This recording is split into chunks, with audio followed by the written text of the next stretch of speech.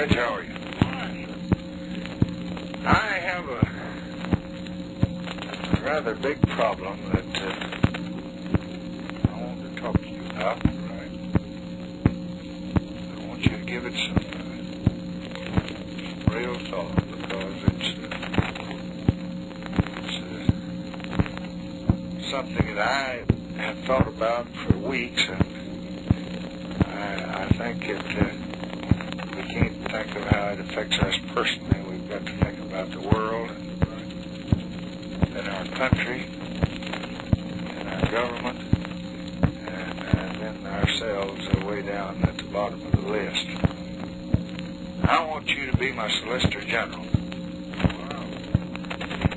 Now, you lose a lot. You lose security and you, you lose uh, uh, the freedom that you like and you lose the philosophizing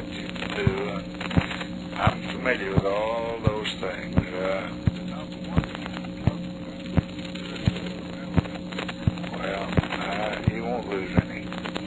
And uh, I want you to do it for two or three reasons. One, I want the top lawyer in the United States represent me before the Supreme Court to be a Negro and to be a damn good lawyer that's done it before. That's uh, so you have those peculiar qualifications.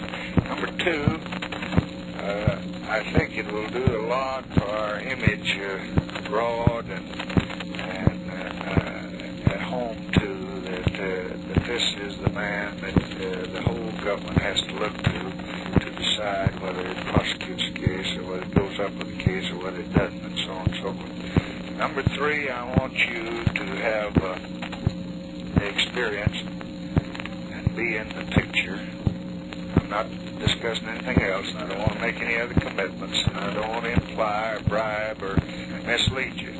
But I want you to have the training and experience of being there day after day for the next few weeks, anyway, maybe the next few months if you could do it. Now, talked to Ramsey Clark, whose father is on the Supreme Court, and both of them have a high regard for you. I've talked to the Attorney General, uh, Nick Katzenbach. I've talked to you. Now, I haven't talked to anybody else. Uh, I don't want to talk to anybody else.